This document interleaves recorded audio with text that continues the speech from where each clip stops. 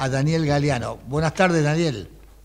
¿Qué tal, Arturo? Buenas tardes, ¿cómo te va? Muy bien, bueno, estamos hablando con Daniel Galeano, 54 años, talento argentino, ¿no es cierto?, licenciado en marketing, que nos va a contar una rica historia de la transformación, digamos, empresarial de una familia. Contanos un poquito el origen de tu familia italiana. Bueno, como hemos charlado, venimos, o sea, mis bisabuelos, nacidos en Italia, eh, por parte de papá, y de la zona de Sicilia, ¿sí? en el sur de Italia, en un pueblo.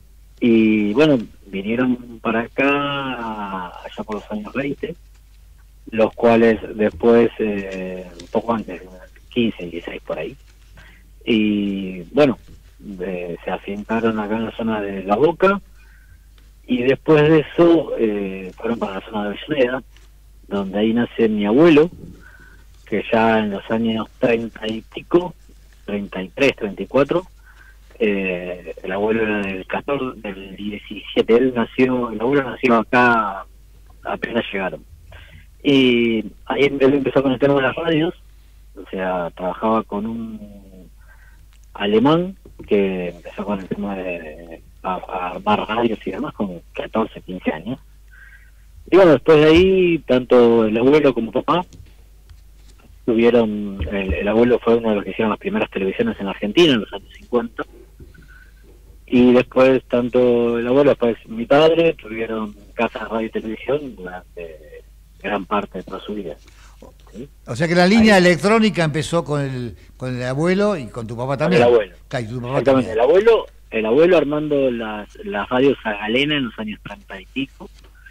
Y y bueno, después con papá, que bueno, hoy es quien sigue todo el tema, donde después montamos eh, la empresa con, con papá, después que papá se había retirado y demás, él es técnico electrónico y él es el que diseñó todo el tema de, las plaquetas de la radio que usamos hoy en día y demás. ¿Le, explicamos a la audiencia qué es una radio galena?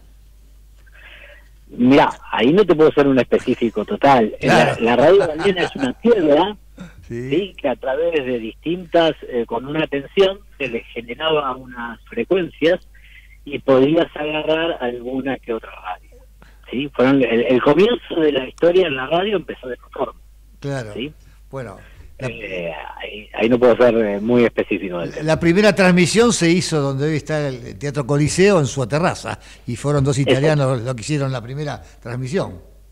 Exactamente, sí, sí, sí, tal cual. Tal cual. Yo te digo que en los años 50, 60 se usaba también la radio galena, que lo, hacían con una hoja de afeitar y un, y un broche, y un broche, y de ahí se sintonizaba. Una cosa extraña que los chicos lo hacían en aquella época, o sea que es una radio rudimentaria. Bueno, ¿cómo, sigamos con el, con el tema. Bueno, y, tu abuelo empezó con televisión y todo eso. ¿Y vos cómo te enganchaste siendo, bueno, licenciado en marketing? ¿Cómo fuiste transformando tu vida? Vos empezaste como bancario, si no me equivoco, ¿no? Sí, bueno, yo hice, estudié licenciatura en marketing, Después de eso me fui a vivir al exterior, me fui a vivir a Alemania, viví tres años allá. De verdad me fui a vivir a Europa a tratar de, de, ir a buscando un poco las cosas y demás y conocer un poco Europa. Me quedé en Alemania viviendo tres años. Cuando vuelvo empiezo a trabajar en lo que era el grupo Rodas, que después fue el ahí hice toda una carrera de 17 años. Y bueno, papá estaba retirado y demás. Yo soy coleccionista de autos. Mi pasión son los autos antiguos. Y bueno, de ahí que me había comprado un, clásico, una Cooper Ford 35, que no tenía la radio. Y bueno, buscando, buscando, nadie, no, la encontraba por ningún lado. Y justo un viaje a Estados Unidos, la busqué allá y no había tampoco. O sea, que se fabricaran, ¿no? Sí, sí. Y, y bueno, y ahí se me ocurrió, dije, bueno, si nadie lo hace, ¿por qué no hacerlo nosotros? Correcto. ahí, ahí empecé a diseñar, yo, todo esto estaba en Club de Autos Antiguos y demás, que ahora ¿no? Y mm, papá en esa época ya le arreglaba a mis amigos eh, de onda, porque, bueno, obviamente esas radios de los años 50, 40 eran todas a valvulares y demás, y papá las arreglaba de nuevo. O sea, Correcto, claro, era una válvula, claro, era una válvula, sí. Era una válvula, 6 volt, viste, es algo bastante particular. Así que, bueno, papá eh, se las arreglaba que el auto esté completo y bueno, y ahí se me ocurrió el tema de, de por qué no, no desarrollar algo. Y ahí empecé a buscar información en las primeras no había nada, obviamente. Y bueno, buscar un original, empezar a copiar. Y bueno, y ahí con papá, si él se animaba a fabricar una placa a MFM con 6 volt, 12 volt, porque los autos antiguos eran 6 volt. Y me dijo, sí, vamos para adelante. Porque tu, ahí- pa- tu padre es eh, Héctor Pocho, técnico electrónico. Exactamente, él es pocho en realidad. Si le decís Héctor no se da ni vuelta. con 80 años. Así que imagínate. Y bueno, y ahí papá empezó a desarrollar todo el tema de, de la radio y empezó a desarrollar todo el tema de, de esta plaqueta y, cómo funcionar y demás. Y bueno, yo empecé con toda la parte de diseño exterior de la radio sí, y ahí armamos eh, Antica en realidad está bien. y empezamos a fabricar réplicas de radios para automóviles. Vos compraste un Ford 35, así que sos fierrero, porque aquella época era un auto que se corría en la, ca- en la digamos, de carretera, ¿no? ¿Sí? En los tiempos de, de los Galvez. En la época de los Galvez, el, el principio de Fancho, etcétera. Y sí, a ver, me gustan, me gustan, soy un apasionado, hoy sigo aprendiendo, eh, sigo siendo coleccionista y después también eh, soy el dueño de automóviles clásicos, o sea, monté un taller de restauración de autos clásicos y la venta y compra y venta de autos clásicos, o sea, es mi pasión. Claro, vos sos un, fue. sos un talento argentino realmente, ¿no? No, mira, yo aprendí que la vida es muy corta y no sabes cuándo te vas de esto. Y bueno, tratar de hacer lo que más te apasiona y lo que más te hace feliz. Y bueno, ahí es. Hola, hola, tenemos problemas en, en línea, a ver qué pasa, a ver control. Bueno, esperamos un segundo para reanudar la conversación, muy interesante, un hombre que evidentemente se ha transformado en su vida, de bancario a licenciado en marketing, a este, a hacer un- una empresa de, digamos, de, de reparación, no, de antique radio, ¿no es cierto?, de, de situaciones de antigüedad. Lo tenemos en el aire sí. nuevamente, sí, ahí estamos, ahí estamos nuevamente, Sí, estamos Y nuevamente. eso que est- estoy quieto en casa, pero bueno, la señal a veces no son buenas. Bien. Te decía, bueno, y bueno, y trato de hacer eso, o sea, hacer lo que nos gusta, lo que nos apasiona. Y, bueno, para mí son los autos antiguos y las radios y, y el tema eh, de disfrutarlo, ¿no? Lo tuyo es versatilidad pura, ¿no? Porque estaba haciendo recorrido diciendo, bueno, de, de un- de una persona que trabaja en un banco, pasar este, a estudiar marketing, a entrar en las radios, a comprar autos antiguos, a, digamos, a reacondicionarlos a nuevo. Y aparte, cosas muy difíciles, porque hoy, como decías vos, reparar una radio que tiene que, a válvulas no es nada grato, no es nada fácil tampoco, ¿no? No, y eso te digo, bueno, papá le lleva, y es su pasión, en realidad el viejo eh, disfruta eso y lo toma como desafío cada radio que le agarra en sus manos y, y buscarle y, y, y tratar, mira, este, te digo, o sea, hoy con 80 años él sigue trabajando en la empresa, se sigue activo y está hace una semana con una radio que lo está sacando canas verdes, pero sí, en vez de decir, no, esto no tiene solución, bueno, yo lo logró hacer andar y ahora está con la, la parte de, de, de y demás, o sea, es su pasión, sea, y realmente eso es importantísimo, y poder, y es lo que le da su, su energía, su vida y está bárbaro. Claro, o sea que, que Pocho es, es un as en la electrónica, en una palabra, ¿no? Tal cual. Sí, sí, él eh, ha, logrado volver a la vida a radios que eran imposibles, que habían estado bajo el agua. Claro, claro. Bueno, O sea, contame, ¿y ahora cómo- por qué formaste, eh, digamos, Antique Radio? ¿Por qué, ¿Por qué se te dio por formar una empresa con respecto a eso? Bueno, de ahí vino a ver la oportunidad en el mercado, o sea, de la parte de marketing, yo siempre estuve comercialmente. Y bueno, ahí empecé a fabricarlos porque no había nadie en el mercado. De hecho, somos los únicos en la Argentina y uno de los seis en el mundo que hacemos esto. Hay seis en el mundo. Sí, y de los cuales hoy nosotros fabricamos 32 modelos de radios diferentes, de las cuales 24 exactamente son los únicos en el mundo. O- sea que viene una persona te dice, armame la radio, no sé, un Chevrolet 51, a La, válvulas, la y hacemos, vos- la vos- tenemos, la hacemos en, en producción diaria, eso lo tenemos en stock. Ese auto lo tenemos en stock. ¿Y cómo haces para avejentar, por ejemplo, las perillas, el frente y todo eso? Bueno, es que bueno, ahí está el tema. Nosotros la fabricamos y tratamos de darle el, el toque viejo y bueno, hay distintos procesos en eso. En, en la- las- no, no las hacemos con los materiales de la época porque sería imposible, pero sí lo hacemos con resinas y demás y tratamos de llevarle a los tonos y a los colores de la época. Y también lo hacemos que, que estén nuevos porque hay gente que ha estado en el auto pero quiere que esa radio esté eh, como si también saliera de fábrica.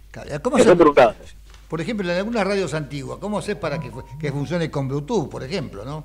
Si Claro, es que, bueno, en eso papá hizo un desarrolló un, un equipo que le pone a la radio original a válvula o del año 70, que ya no eran a válvulas, se le pone un dispositivo adentro que con un cable le pones un aparatito de Bluetooth, le pones y automáticamente se corta la radio que estás escuchando, MOFM, y empezás a escuchar tu Spotify de tu teléfono. Eso por un lado. Las que nosotros fabricamos no son a válvula, las que nosotros fabricamos, si bien son sistemas análogos, con aguja y dial y todo eso, no son a válvulas, son transitarizadas. Y esas tienen obviamente un sistema para Bluetooth, que conectas de la misma forma y te corta la radio y empiezas a escuchar la, radio. Escúchame, ¿y dónde exportan, o por lo menos dónde tienen relación ustedes con clientes del exterior?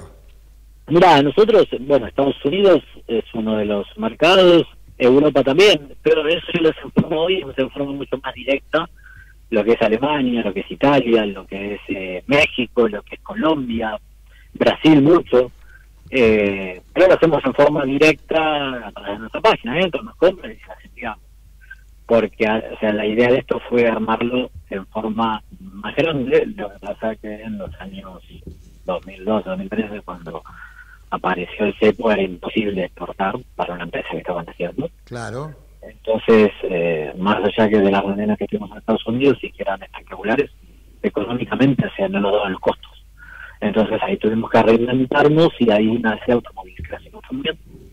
Y bueno, y y ahí estamos hoy con las dos empresas. Decime, ¿cómo es esto de darle garantía a un cliente del exterior con una radio antigua, una garantía de 10 años? ¿Se arriesgan a tanto ustedes o se tienen fe? No, eh, con las radios nuevas, no en las antiguas. Ah, correcto. originales, No, con las radios originales, eh, acá le damos una garantía. Vos pensás una radio, vos compras una radio del año 1940 y te damos seis meses de garantía. Absoluta por la radio. Eso por el trabajo que hace el viejo dentro de la radio. Y por las nuevas, eh, los primeros años dábamos garantía de por vida por cualquier cosa, porque cuando vos desarrollas un producto, la realidad es que podés tener errores. Y la, la, la realidad es que el, cliente no, no tenga que, que hacerse cargo de esos errores, sino nosotros. Y después, hoy en día, una radio tiene dos años de garantía mínimo por cualquier cosa que le pase a la radio. Bien. Y nos hacemos cargo de todo. ¿Ustedes están, están en barracas, ustedes?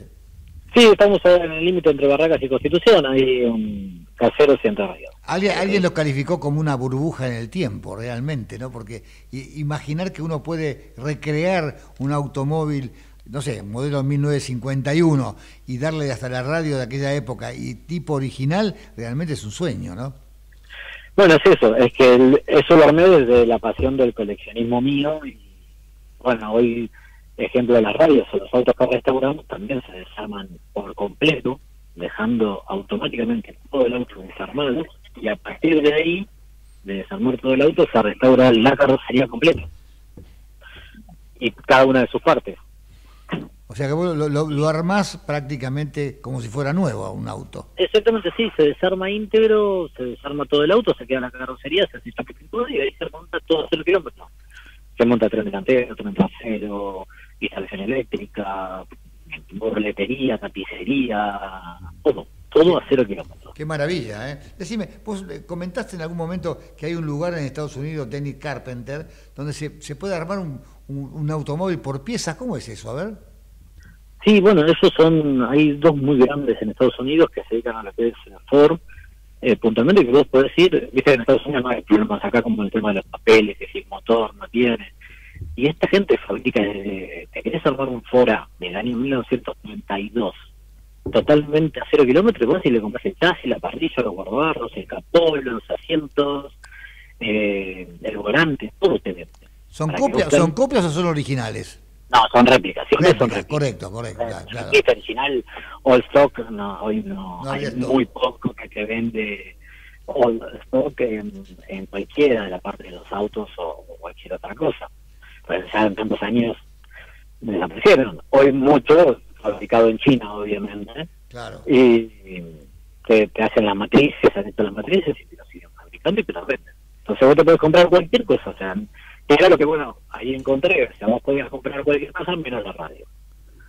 Eh, así que, bueno, ahí fue donde en el año 2004 eh, empecé a desarrollar eso y ahí empezamos con la radio. ¿Cuáles serían los inconvenientes más grandes que tenés hoy en la Argentina para desarrollar tu trabajo? Y hoy es todo el tema de mucho, en gran parte es el tema que tenemos con los materiales. Hoy nosotros, más allá de que usamos materiales de los años 80, 90, y con el tema de importación, en los últimos años fue muy complicado por el tema de que con las restricciones de importación y demás, acá no se fabrica absolutamente nada de lo que son los componentes de la radio interna, o sea, de la plaqueta, esa parte. El resto lo hacemos todos nosotros, o sea, nosotros fabricamos hasta la caja de la radio, obviamente con distintos proveedores, no es que nosotros fabricamos chapa, pero lo que es la parte externa y demás no hay problema porque lo hacemos nosotros, tenemos nuestros proveedores que hicimos los moldes, desarrollamos los moldes, y ellos nos fabrican la producción y nosotros pues armamos toda la radio completa. Pero sí a veces se complica con esos materiales que es complicado, bueno, hay que buscarle la vuelta y, tratar de ir solucionando el tema. Y si la audiencia se quiere comunicar con ustedes, ¿cómo entraría en contacto? Bueno, a través de lo que es el radio, a través de www.anticaradios.com.ar o arroba anticaradios, que es nuestro Instagram, y en automóviles clásicos también tenemos la página, es automóvilesclásicos.com.ar o en Instagram, que es lo más directo, es arroba automóviles clásicos, y ahí van a ver también todo el tema de autos que hacemos, o sea, bueno, obviamente mi corazón está en Europa y nos dedicamos especialmente a todo lo que es europeo. Eh, de hecho, bueno, ahora en este momento estamos haciendo una Ferrari, una Maserati, eh, pero a veces hacemos también en Mercedes, BMW, Porsche y demás, ¿no? O sea, un lujo total, en una palabra. Tratamos de hacer todo y, ojo, o sea, también hacemos que nos traen cualquier auto, o sea, no es que... Pero bueno, fuimos a eh, perfeccionándonos en lo que son los coches europeos más que otras líneas, ¿sí? Se fue dando por los clientes, por los autos que nos estaban trayendo, eh, por la investigación, porque bueno, me gustan los autos europeos y, demás. ¿Qué hacías en Alemania? Contanos. Eh, en Alemania hice de todo. En Alemania me fui, en realidad fui a conocer Europa, y en Alemania hice, trabajé de, heladero, mozo, eh, de todo, de todo un poco, eh, para, bueno, obviamente financiarme el viaje y ir conociendo. De hecho, bueno, gracias a eso pude conocer toda Europa completa, llegar a Italia eh, y, bueno, conocer varias regiones de Italia. Así que eso fue realmente lo... bueno, en esa época tenía 22 años. bueno, la, la época para aprender, ¿no?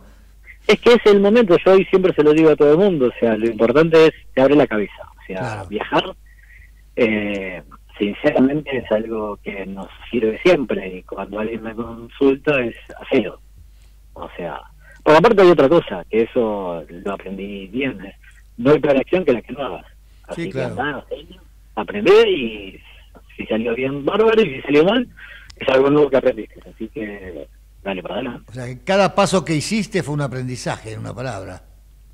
Es que es eso lo que nos llevó a hoy, eso es indiscutible. Eh, o sea, eso te da también la, fuerza a veces, eh, porque también es difícil irte, si bien yo tenía mi tío viviendo en Alemania y me hizo todo un soporte importantísimo. Claro, claro. Eh, cuando llegué me fui a trabajar a Hamburgo, a 900 kilómetros de, de ellos, y uno, y no era como ahora que había internet o había WhatsApp o nada, no existía nada, la carta con la familia y, bien, y bueno, y ahí terminé aprendiendo bien el italiano porque trabajaba en una galería de italianos, así que ahí aprendí bien el idioma, o por lo menos aprendí mucho mejor de lo que podía hablar, así que, que todo fue sumando en la vida. ¿Qué mensaje, ¿qué mensaje le darías a los jóvenes?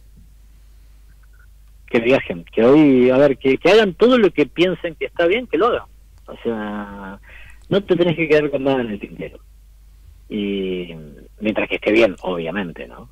Pero ese es el mejor consejo, viajar, conocer, aprender, preguntar, tratar de romper esquemas.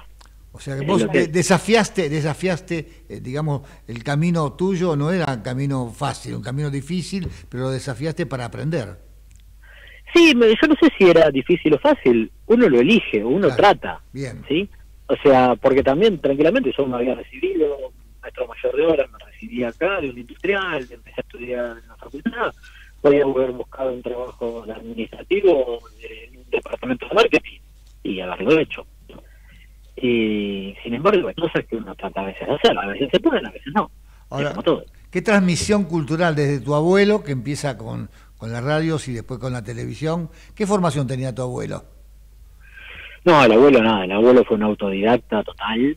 Eh, por pensar en los años 30, empezó con Radio Galeno, o sea que no, podía. Claro, claro, no había, formación en ese momento. Él, aprendió con un alemán que, que, sí sabía, pero honestamente no sé qué cosa, que él armaba la, aventaba la Y él empezó y aprendió el oficio ahí, el cual después se lo pasó a papá, papá sí estudió, y de ahí, bueno, siguieron ellos eh, con las casas de radio y televisión y, en eso.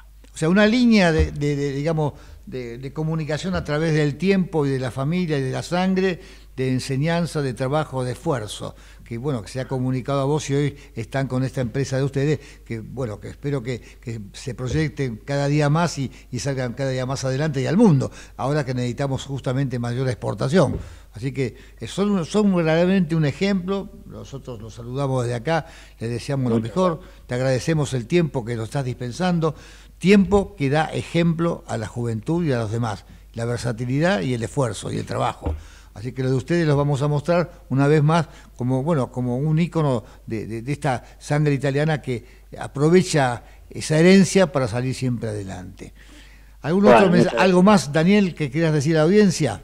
No, no, al contrario, estoy a sus órdenes y para los que podamos ser útiles, cuenten con nosotros, no hay problema. Bueno, gracias Daniel por tu tiempo. Ustedes escucharon. Al contrario, gracias a ustedes. Escucharon a Daniel Galeano, el señor de las radios clásicas y de los autos clásicos, ¿no es cierto?